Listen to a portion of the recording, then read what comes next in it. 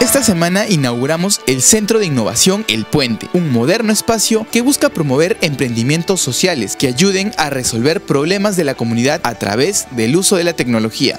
Ya tenemos los 10 primeros emprendimientos seleccionados de todo el país, que serán incubados de manera gratuita, con el apoyo de nuestro aliado Telefónica Open Future.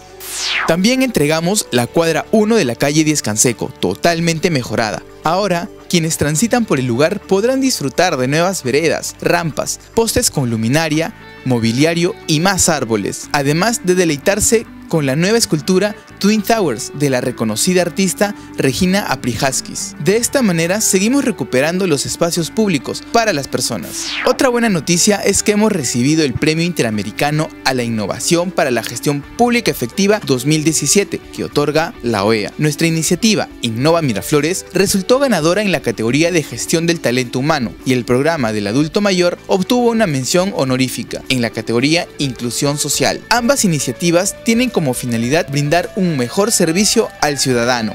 Y te invitamos a disfrutar de la Feria Arte Nativa 2017 en el Parque Kennedy. Aquí podrás ver el trabajo en madera, textiles, bisutería y cerámica de 13 pueblos originarios amazónicos. Estarán hasta el 3 de diciembre, no te la pierdas. Miraflores, la ciudad que todos queremos.